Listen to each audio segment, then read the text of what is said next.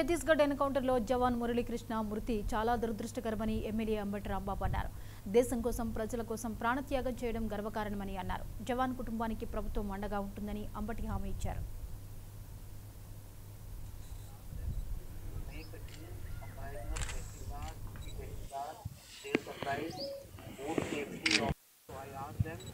make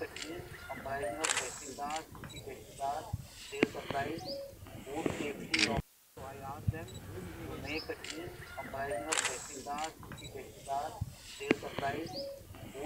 మొన్న జరిగినటువంటి కాల్పుల్లో సత్తెనపల్లి మండలం గులిపూడి గ్రామానికి చెందినటువంటి శాఖమూరి మురళీకృష్ణ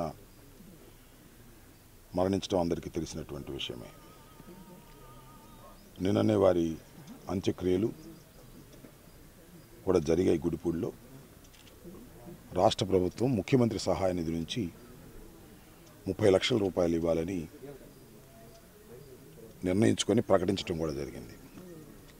దానికి సంబంధించి ఈ రోజున ఆ ముప్పై లక్షల రూపాయల చెక్కు రావడం జరిగింది.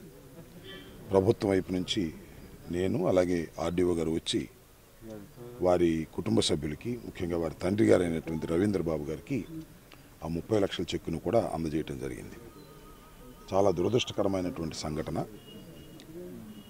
ఒక సైనికుడు లాగా పోరాడి దేశం కోసం మరణించాడు.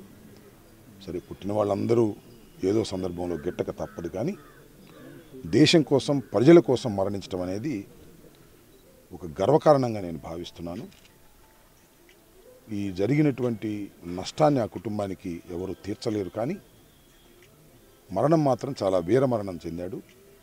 కాబట్టి మనం అందరం కూడా ఆయన ఆత్మకు శాంతి కలగాలని అదేవిధంగా ప్రభుత్వం కూడా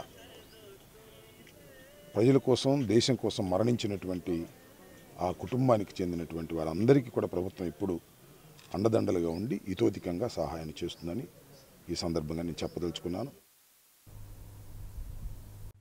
For more updates please subscribe ninety nine TV Telugu.